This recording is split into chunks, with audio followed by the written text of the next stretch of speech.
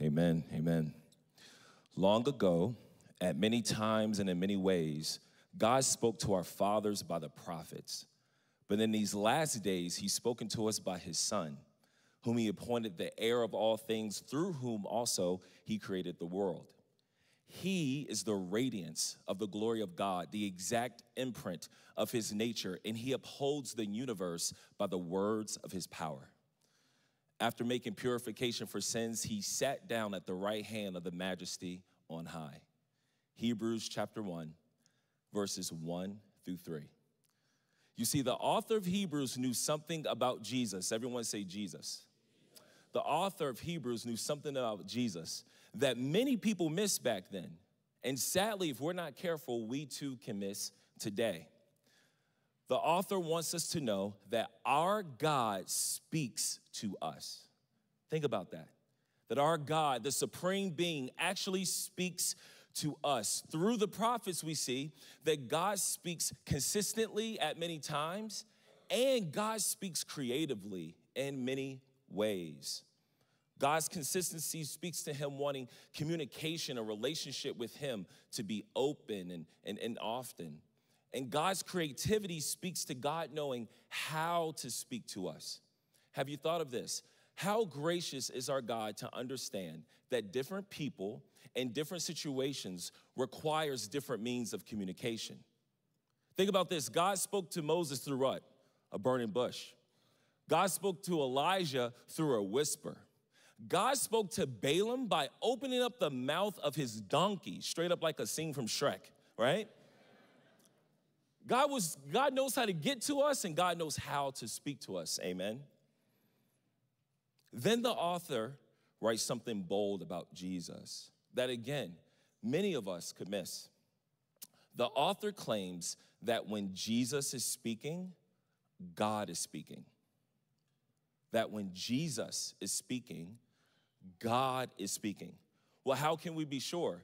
Well, the verses I recited shout the surpassing greatness of Jesus by telling us that Jesus is the maker of all things, heir of all things, and sustainer of all things. That Jesus is the radiance of the glory of God, the exact imprint of his nature. Simply put, if you want to know who God is and what God is like, look to who? Look to Jesus. Look to Jesus. So, what happens when the creator and sustainer of the world becomes man, puts on flesh, walks the earth, and begins to speak to people? What happens when the very word of God begins to utter words? How do people respond to him?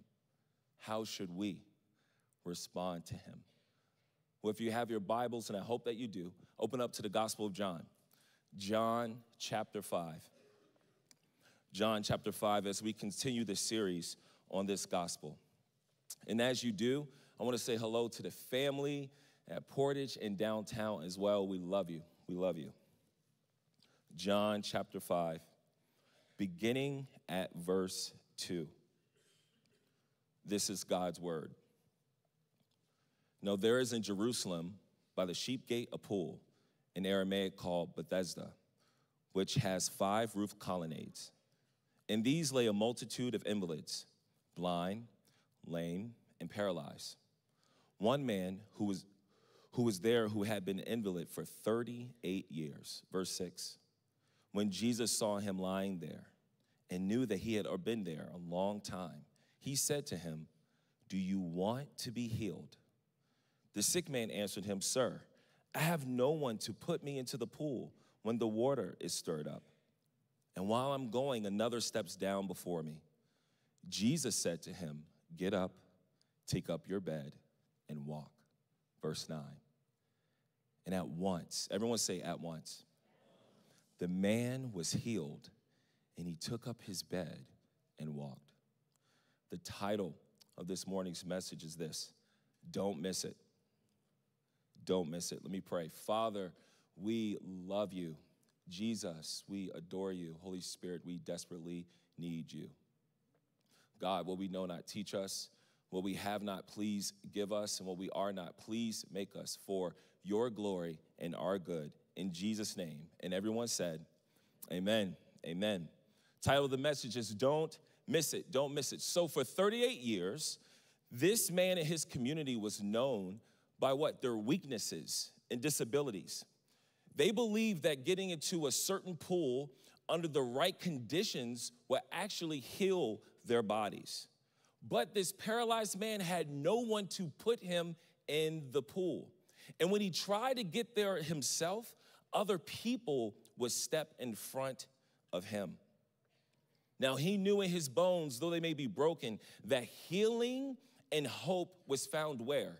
In that water in that pool. Now, we don't know exactly all that took place there. I don't know if they actually seen someone get healed, but that's what he was thinking in the community that he was around.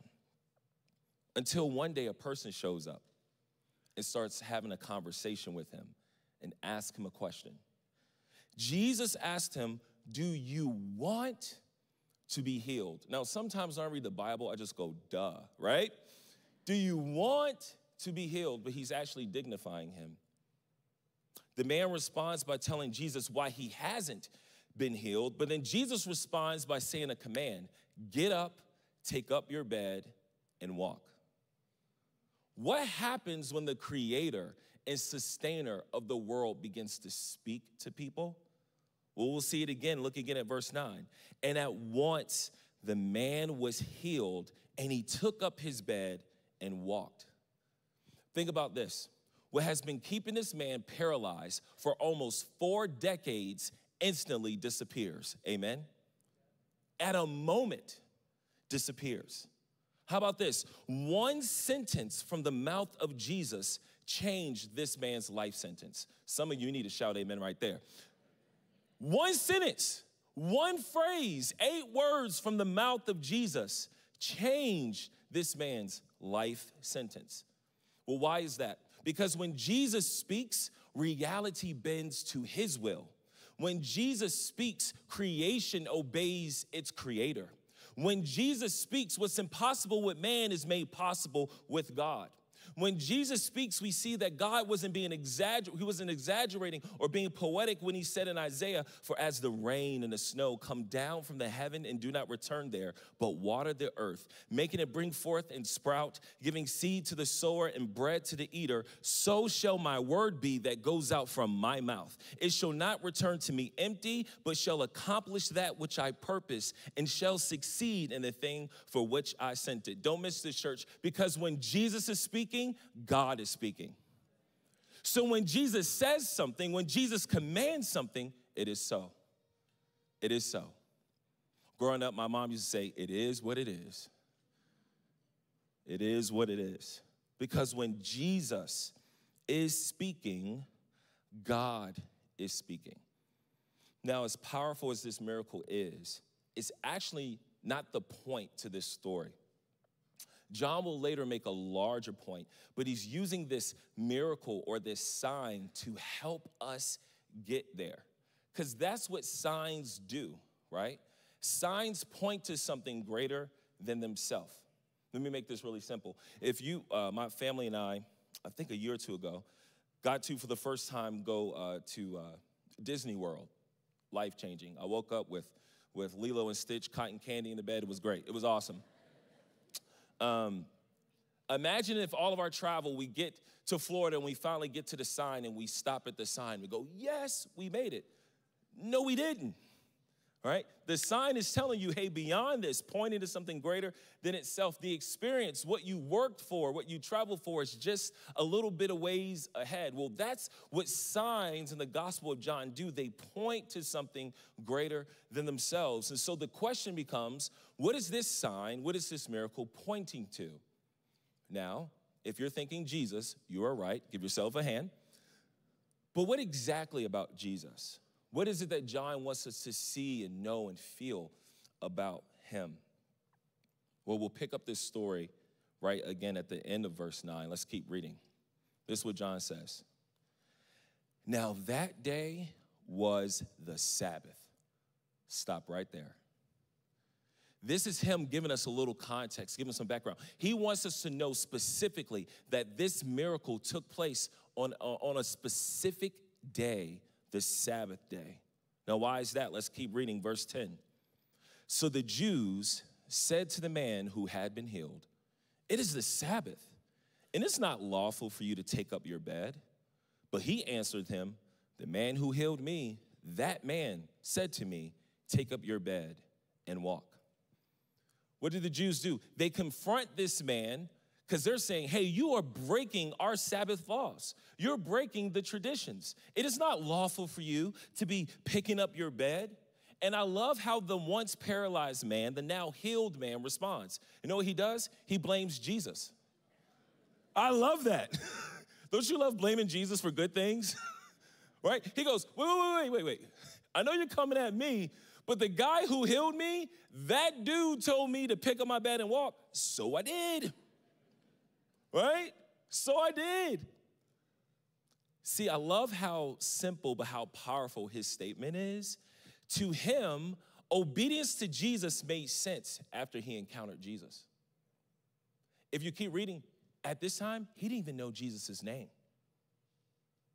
He was just like, This guy healed me. He told me to do something, so I did it. How would our lives look like if our obedience matched our encounter? Oh, that's for another sermon. Here we go. Here we go. Let's keep going. How did they respond to his answer? Like, how did the Jews say? Verse 12, they asked him, Who is the man who said to you, Take up your bed and walk? Who is he? See, they want to find out who is telling people, who's behind telling people they can break the Sabbath laws. But you know what they didn't do? They don't ask this man what he has been healed of or how long he's been sick or weak, do they? They completely miss the moment of celebrating with this man because they're fixated on capturing the man who told him he can pick up his bed. They're so fixated on the law that they miss the very work of God. How about this? They completely miss the work of God while trying to defend God. Oh, they completely miss what God is doing while trying to uphold the law, while trying to defend God. Let me give you an example of this in my life. So, I got saved when I was a teenager through this outreach ministry, and um, I was like 15, 16 years old. And my pastor at the time, he believed that the only Bible any Christian should read of all time is the King James Bible, period. If you had any other Bible, it was not the Bible, okay? It just wasn't, right? And so, so much so that uh, he taught us how to defend the King James Bible over any other Bible. So if you had an NIV, you did not want to get close to me, all right? And I would come up to people, I was trained literally, King James only, had my Bible, right?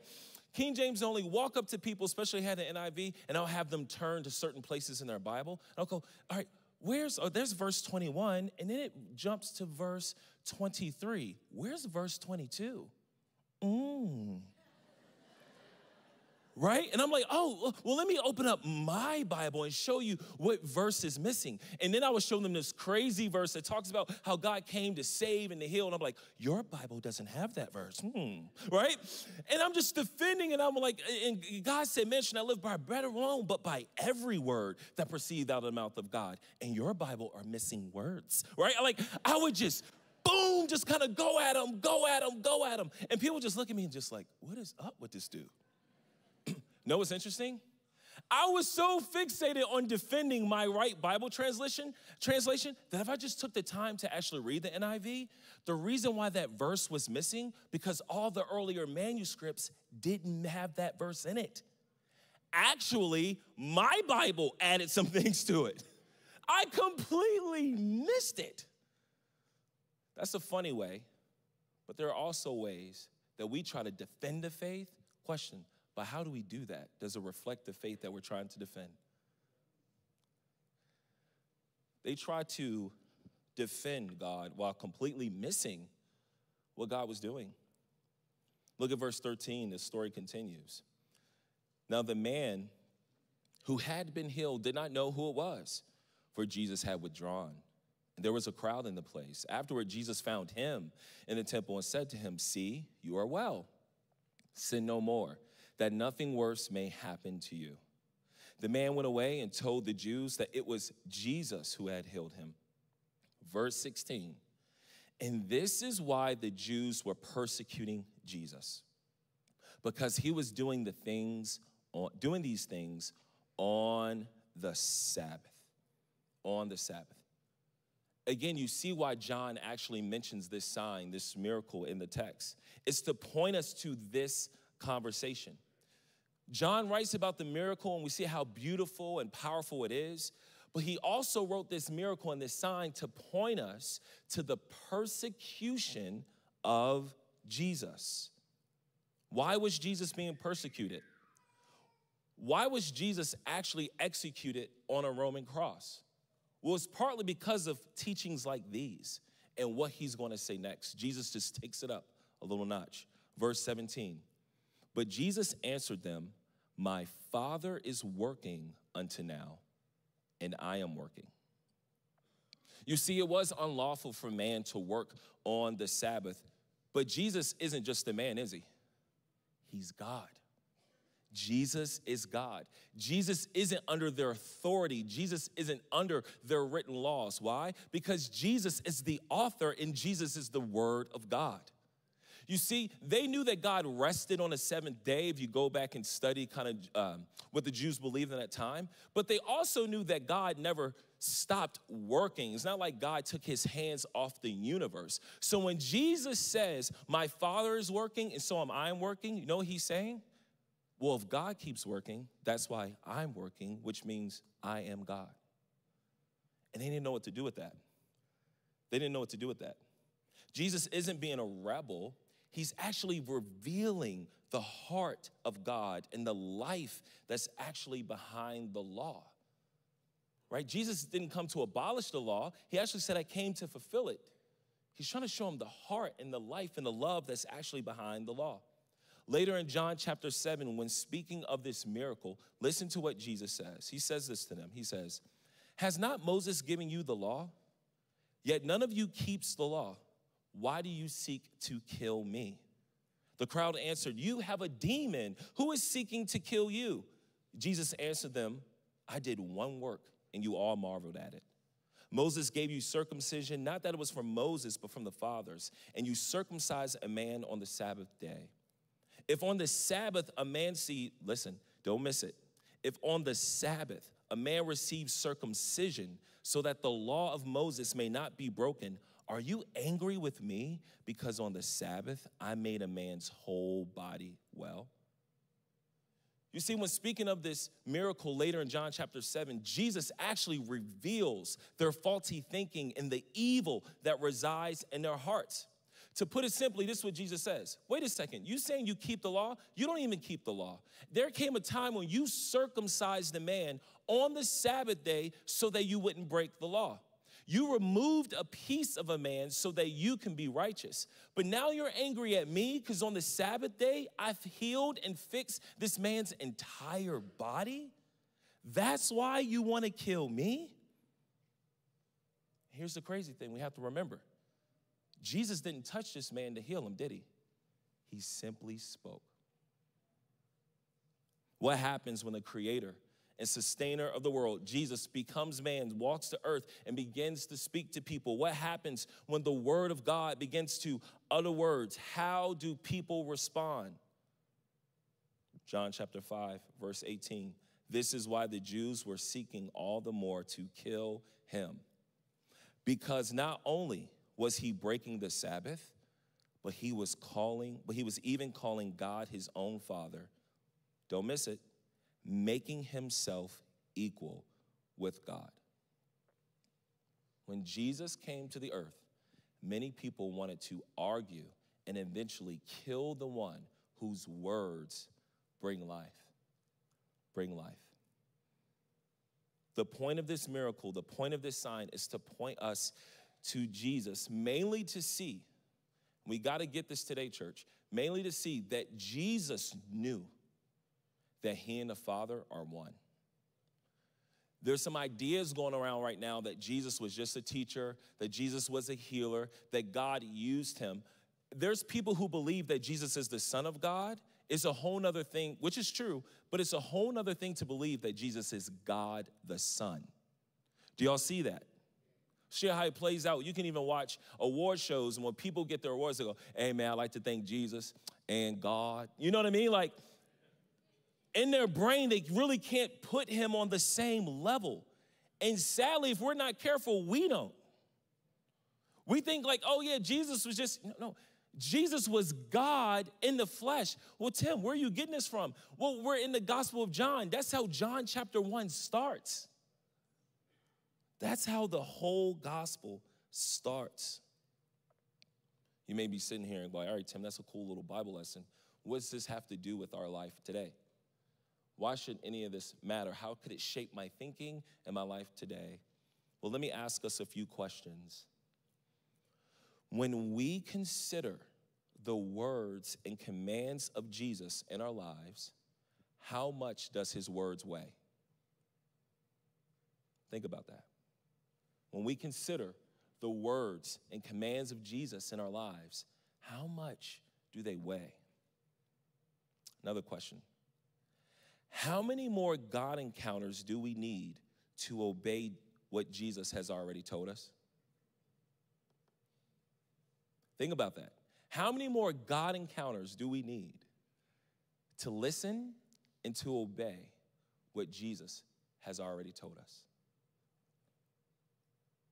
Another question or proposition Could our self righteousness, the rules that you and I make up to either prove ourselves to God, to others, or ourselves, be the reason why we're blind from seeing Jesus, who is the righteous one? Another question What do we defend with more passion?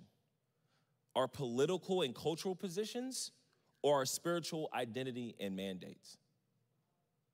All right, let me make this simple because y'all look like y'all sleep. Here we go. Um, one of the things I love to do as a pastor is just to visit the congregation. I love being a shepherd and being around our spiritual family. And many of you have opened up your homes and have fed me. That's why I'm overweight. Thank you. And, um, and we have a great time. But you know what I've noticed sometimes? I come in and I'm the pastor and we talk about Jesus and it's not, and it's nice. And Jesus, yeah, he saves. You know, and it's just good. But the moment we get to something political, the heat just rises. And it's like, yeah. And I'm like, wait a second. We just been talking about the Lamb of God, the Alpha and the Omega, the beginning and the end, the King of Kings and the Lord of Lords. But the moment my pinky toe steps into something political or cultural, it's like, I mean, it just, we get riled up.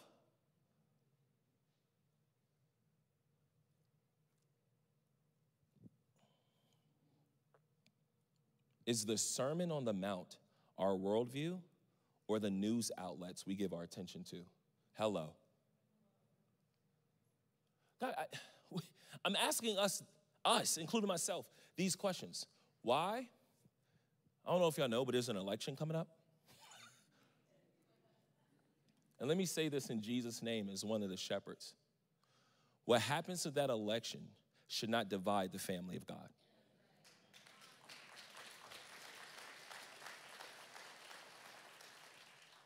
Well, Tim, well, how do you, why do you say that? Because I know people who still aren't speaking to their kids because of how they voted almost four years ago. Church, what Jesus says, how much does his words weigh? I'm asking us, including me, these questions because when I read the Gospels, I love to put myself in the story right? I want to see myself as the man who needed healing because you know what? There came a time in my life where I actually did need healing. My disease was sin, the price was hell, the cure was the blood of Jesus, my healing was salvation, and one day I will see him face to face, amen? I want to see myself as Jesus when I'm reading the Bible. I want God to use me to bring healing to bodies, to hearts, to minds and families. I want God, and I believe God. He said, Greater works will you do. I'm like, Jesus, I want to be that way. I want to be able to walk into hospitals and go, be healed, and people like just straight up just walk out. I want to be able to do those types of things. I want to be able, where there's tension in families, where there's tension in marriage, to speak a word and change people's lives. I want to be able for those who've been struggling with bitterness and anger or heartache and sadness to be able to pray with them and they literally feel the very presence of God bring life to their bodies. I put myself as Jesus in the story. I want to be able to teach God's word with power. I want to have conversations with people and they walk away forever changed, not because of my presence, but because of God's presence. I want when people bump into me, they felt like they bump into God because I'm a part of his body. But rarely do I put myself in a position when reading the Gospels of those who oppose Jesus. Yet at times, I find my motives and actions are doing just that. I believe we all, as followers of Jesus, must look to him, see Jesus for who he really is, weigh his words, and listen to him. Jesus is the Son of God. Jesus is God the Son. And if we want our lives and the way we live and work and play to look like Him, we must look to Him. We must depend on him. We must believe him. We must trust him. Not just must, how about this? Isn't it a privilege? We get to look at Jesus. We get to believe him. We get to trust him. Listen, church, God is doing something in the earth, and he actually wants you to be a part of that plan. How beautiful is that? You're a part of the greatest work that has ever taken place. And I don't want us to miss our role in redemptive history. Oh man, God has created you on purpose with a purpose. Don't miss it. And the way that you and I can miss it is by missing him. Well, Tim, what are ways that we miss him? We miss him when we believe that Jesus came to make our life better instead of giving us new life. I wasn't someone who was doing okay and just needed Jesus to make me better. I was dead in my trespasses and sins, and I needed Jesus to make me alive. We miss Jesus instead of him being the Lord and Savior of our life when he becomes an accessory to our life. What do I mean by that? Instead of giving Jesus our everything as we sung, we just add him to our everything in our life. What that looks like is we just add him. We just say, Jesus, this is what I'm doing. And we treat him like, like the date we really don't want. Like, you can come along, but you look all right. Holler if it hits, you know what I mean? Like, like you know what I mean? Like we go, we, we go about our day. This is me. I'm not talking at you. I'm talking about us. Or I'm talking about all of us, right? We could go throughout our whole day and not even spend time with them because in our bones we believe we don't need him. And you know what God does lovingly? He will bring you to a situation when you know you need him. He will bring you to a situation where you would get on your knees and say, God, I need you, and not to harm you, but to show you, you can't do life without me because I am life. And here's the beautiful thing God doesn't want to do life without us way more than we want to do life with Him. So we can just go to Him and just say, God, I'm sorry for living a life and, and treating your words like everybody else's words.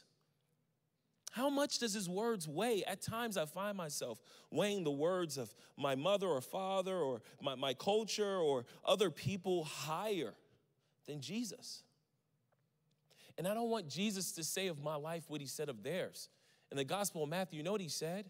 He actually said this. He said, because of your traditions, how you hold your traditions, your laws, your views, your perspectives, your paradigm, you actually make void the word of God.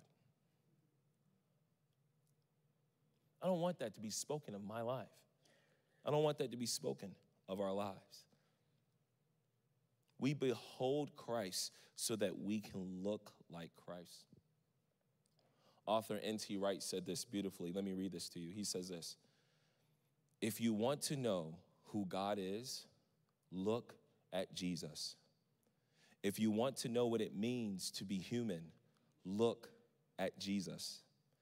If you want to know what love is, look at Jesus. If you want to know what grief is, look at Jesus.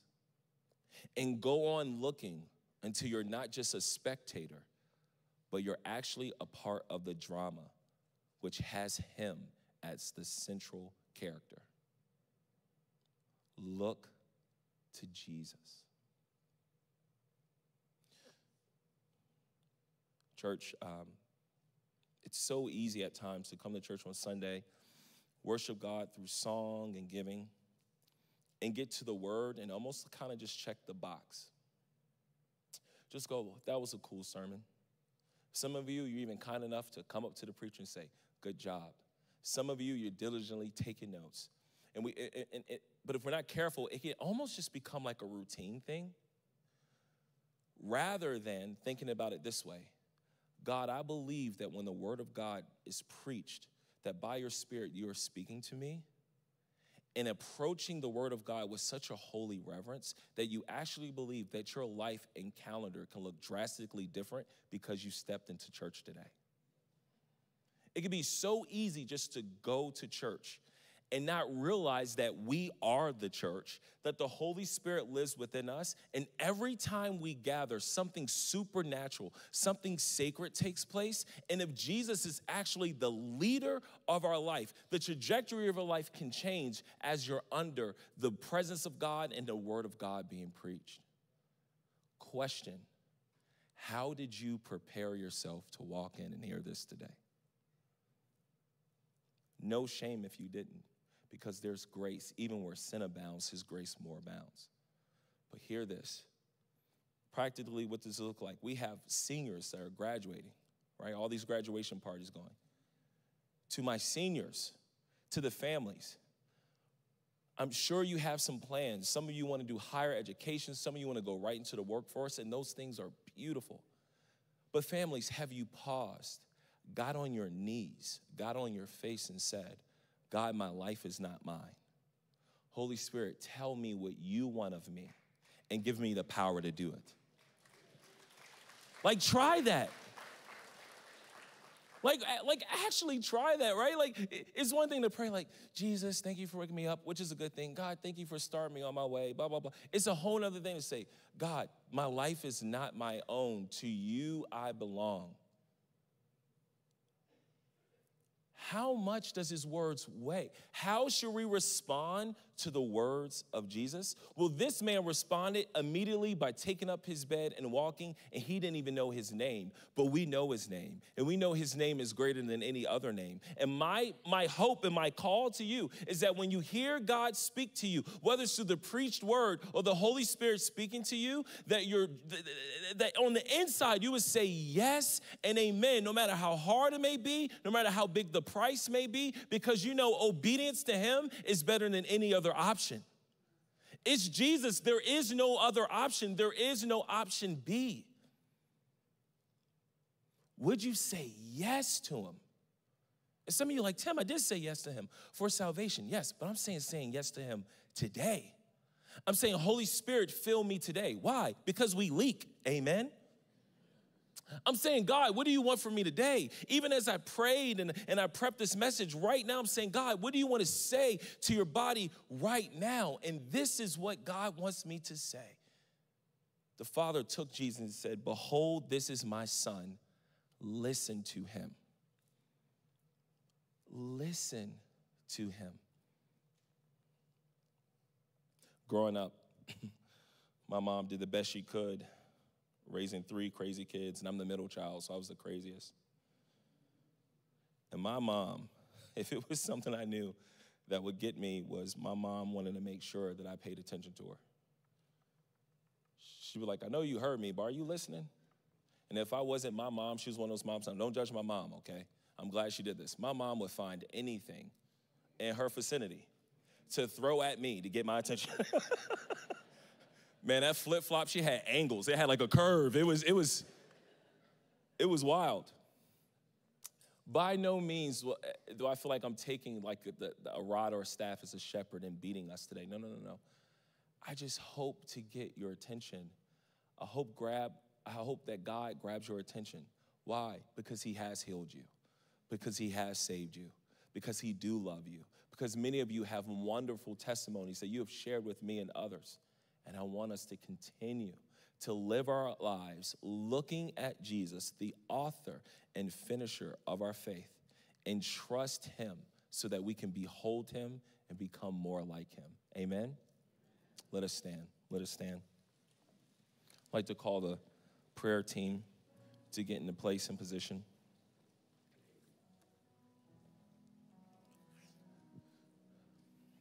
Here's the invitation, pretty simple.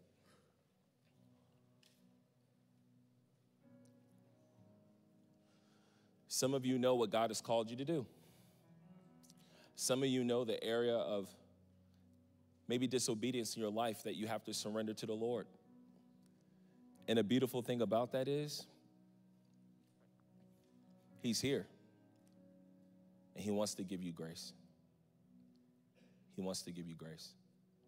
He wants to give you everything you need for life and godliness. He wants to help you follow Him. He wants to give you a new heart that beats for Him so that you can love Him with all your heart, soul, mind, and strength. And here's my invitation to you today.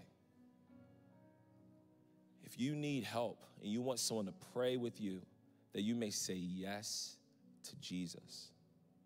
Some of you, maybe for the very first time, we want to pray with you. Scripture tells us if we confess our sins, that He is faithful and that He is just to forgive us of our sins and to cleanse us from all unrighteousness.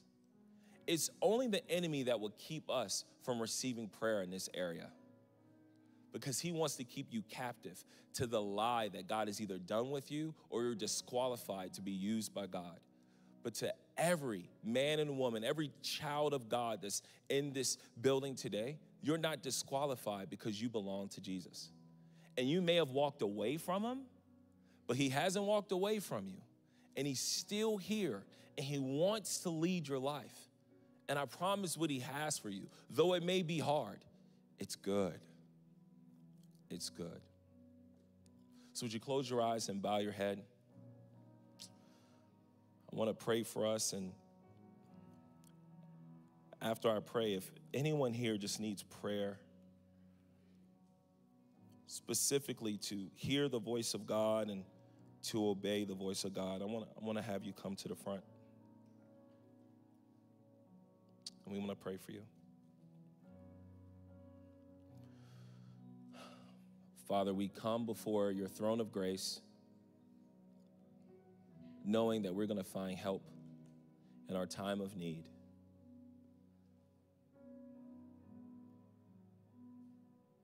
And God, we just say thank you for being a good father. God, thank you that your goodness towards us isn't based on our performance. God, thank you that you never change. God, thank you that when we're faithless, you remain faithful.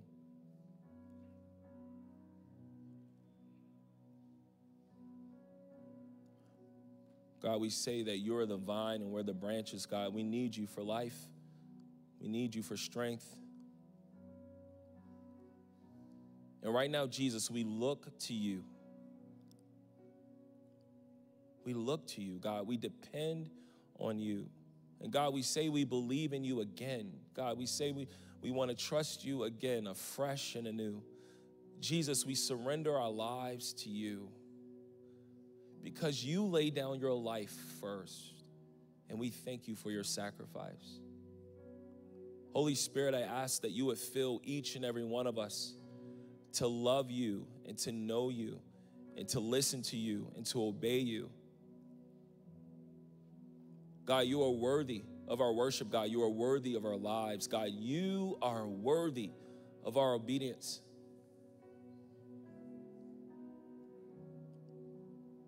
So, this moment, God, we ask that you would take this moment and, and make it sacred, God, make it special. Mark us in such a way that our lives forever change. May the beauty of Jesus capture our hearts, our lives, our imagination, our attention, and our affection again. As we sung earlier, God, we do believe that all of this is for your glory. May our lives glorify you. May our lives glorify you. May each breath we take praise you. In Jesus' name. And everyone said, Amen. Amen. Hey, listen, if you need prayer, we would love, really, really love to pray with you.